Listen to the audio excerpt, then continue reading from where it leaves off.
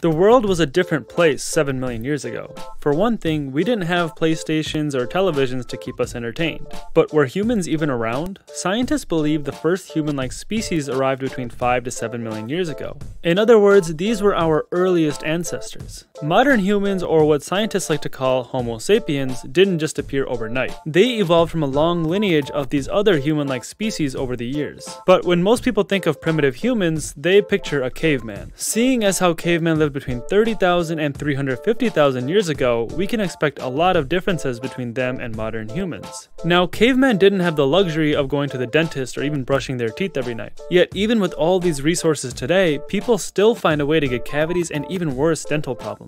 So how did cavemen fare with these lack of resources? Did they simply lose all their teeth because they couldn't keep them clean? Well, not exactly. Surprisingly, scientists who look into the mouths of fossils from the earliest humans rarely find any cavities at all. So what changed? Did these cavemen have secret techniques of preventing cavities that they didn't want to share with us? Maybe, but probably not. There are some things that could explain the differences though. For one, ancient humans didn't get to enjoy the sugary foods and sodas that we do now. Sugar wasn't invented until about 2500 years ago, many years after our ancient humans existed. There was also no such thing as processed foods, meaning the diets of these cavemen or hunter-gatherers came entirely from non-processed natural foods, including meats, fruits, and vegetables. This means that many of the foods that they ate back then had lots of nutrients, which not only made their teeth stronger, but their bodies healthier as a whole. Research shows that cavities and rotten teeth didn't really start becoming apparent until about 10,000 years ago, which is about the time when our ancestors began farming.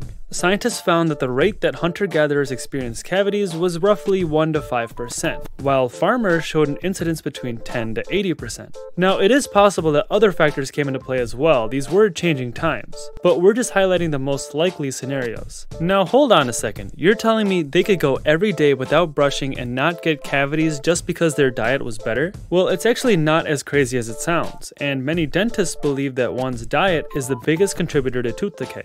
But that doesn't mean that brushing and flossing is not important. So how did our ancestors take care of their teeth?